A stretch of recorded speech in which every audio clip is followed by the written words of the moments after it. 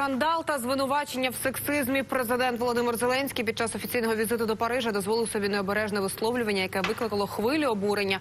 Під час виступу в кампусі е, стартапів у Франції Зеленський назвав українських жінок одним із брендів країни. Давайте почуємо.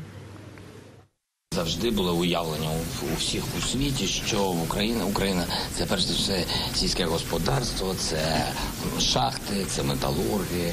А для туристів завжди вони казали, що в Україні дуже красиво, дуже смачно і е, дуже вродливі люди, особливо жінки. Так, це все є, і воно залишається нашим брендом.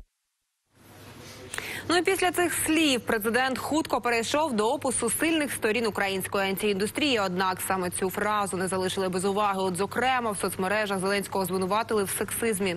Українки навіть запустили флешмоб з хештегом Я тобі не бренд, я не бренд і я не туристичний бренд. Послухаємо найяскравіші коментарі. Я так и не понял, в чем зрада с брендом, поскольку явно же имелся в виду country бренд, а не торговая марка. Но, видимо, сейчас все настолько болезненно воспринимают любые формулировки, что ситуация накалена до предела. В Зеленського ж, начебто, навіть є радниця з гендерних питань. Чекаємо її публічної реакції. Сподіваюся, пану Зеленському і його радникам вистачить мудрості не сказати щось подібне в Німеччині. Канцлер Ангела Меркель була б дуже здивована подібними заявами. Зашел почитать Facebook. Сложилось впечатление, что гендерные вопросы в Украине являются электорально значимыми. Вышел из Фейсбука, прошелся по району. Вы ошибаетесь, коллеги. Вибачення чекають багато жінок в Україні, які не її бренд, а працюють над ростом ВВП та просуванням українського експорту, залученням інвестицій, покращенням іміджу України в світі. І про бренди від Зеленського. Бренд це торгівельна марка, використовується для позначення товару. Називати цим словом українських жінок є відвертою образою всіх українців незалежно від статі. Олег Я- Валерійович, чи було щось образливе, як ви думаєте, в словах Зеленського? Я не можу зрозуміти, а чому дивуються люди? А ви хіба забули, як Зеленський у Прибалтиці перед росіянами е, принижував, розказуючи, порівнюючи Україну з порноактрисою німецькою, яка дає в любих кількостях ззаді і спереді? Може, ви чули, що він за це вибачився перед Україною, перед українцями, перед найкращими україночками? Ні, перед Кадировим вибачився, як тільки той пальчиком помахав. А перед, Це Украї... а перед українцями за порівняння України з порноактрисою німецькою не вибачився. Я думаю, що якби сьогодні ж Зеленський там у Берліні, якби німецький політик порівняв свою рідну країну з порноактрисою, думаю, на тому б його кар'єра і закінчилася. Е, це показує рівень розвитку цієї людини, яка сьогодні обіймає президентську посаду.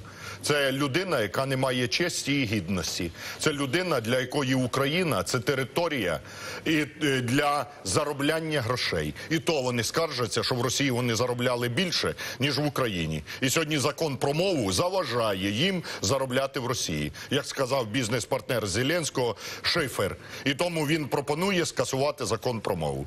Тому подивіться, з якою зневагою Зеленський говорить: ну ви знаєте, от там же в усьому мірі Україна славиться сільським хазяйством, шатьори, металурги. А чим Україна повинна славитися? Ви гарно копіюєте Зеленського, Е, е, Він мене копіював гірше. Чим Україна е, має славитися? Проститутками, заробітчанами, Чорнобилем, е, корупцією. Україна й повинна славитися. А вона трудовими. славиться зараз, Олег Укра... Валерійович? На. Чим? на превеликий жаль, сьогодні Україна нічим не славиться. Крім команди нашої, яка е, виграла молодіжний чемпіонат. І е, крім талановитих людей, так от Україна повинна славитися трудовими людьми, сильною економікою і сильною країною. От чим треба славитися. Бороздить світові океани, створювати нові робочі місця, вертати заробітчан із заробітків, дати людям достойно жити в рідній країні і славитися своєю силою, щоб друзі тебе поважали, а вороги боялися. Президент, який на принижує країну і називає порноактрисою, президент, який замість Він не був президентом. це не має значення, був чи не був, це в крові. Е, Не думаю, що вам чи кому-небудь іншому може прийти в голову свою рідну країну порівнювати з порноактрисою. Тому що я українець. І для мене порівняння моєї країни з порноактрисою це приниження. І незалежно від того, ти президент чи не президент, ти повинен бути козацького духу. І в твоїх жилах повинна текти українська кров і українське серце бути. Для того, щоб любити цю країну. І щоб тобі навіть думка не приходила її принижувати. Незалежно ні від яких обставин.